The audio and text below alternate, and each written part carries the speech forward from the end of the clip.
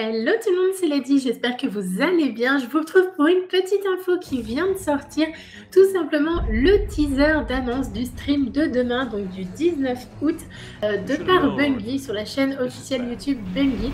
Donc je le rappelle, le stream aura lieu demain à 20h sur le Twitch officiel de Bungie. Je vous mettrai l'adresse dans la barre de description. Donc sur ce teaser, on voit pas mal de petites choses, c'est plutôt sympa on voit mise en valeur le nouveau système de level sur le personnage avec bien évidemment tout ce qui va avec la nouvelle icône pour la doctrine qui est plutôt sympa, l'apparition de l'image de la relique. On voit aussi le nouveau skin du Ghost qui apparaît maintenant sur la première page. Donc tout ça on en avait déjà parlé dans une vidéo.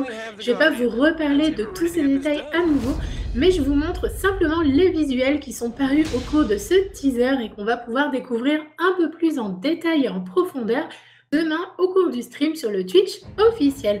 On voit également dans ce teaser le nouveau système d'upgrade et de matériaux, la nouvelle page de quête.